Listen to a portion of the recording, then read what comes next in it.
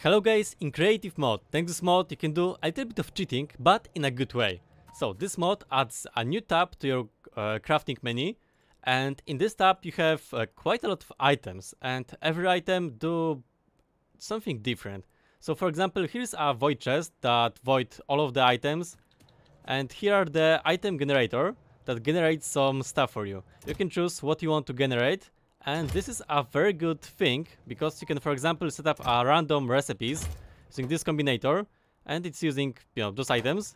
Uh, here are being void with this uh, void uh, item.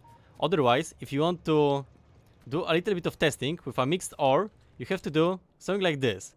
Uh, this is my vanilla solution to dealing with the mixed ores. And with this mod, you can just set up everything here. So it's good to testing your blueprints. Also, there is tons of different stuff you can test. Like, for example, you can drop this, and after a few seconds, the biters will attack this place. I don't know where are the closest biters, but they're gonna attack here uh, in a second.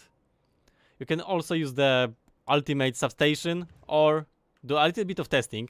So here's my testing area to see how fast this uh, 1.6 million ore will be mined using those uh, super beacon boosters and also super speed modules.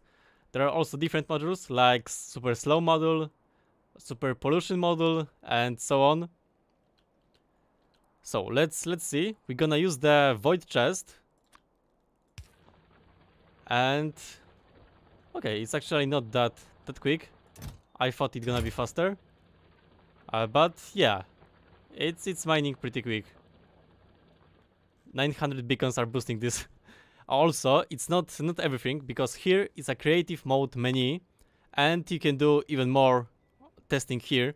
So for example, cheats, personal cheats, and you can change the item drop distance, building distance. You can also change the surface uh, stuff, like for example, freeze the day, uh, team cheats, and so on. If you're making the mods, you can also trigger uh, events to see if everything is working with your mods and so on. So this is a very powerful modification and if you are for example making your mods or you want uh, to test something this is a must-have because with the editor mode you don't have the wait no the editor extension mode you don't have as much freedom as with this mod so yeah I can definitely recommend you this one so yeah, this is all for this mod of the game. Thank you guys for watching and see you next time. Bye!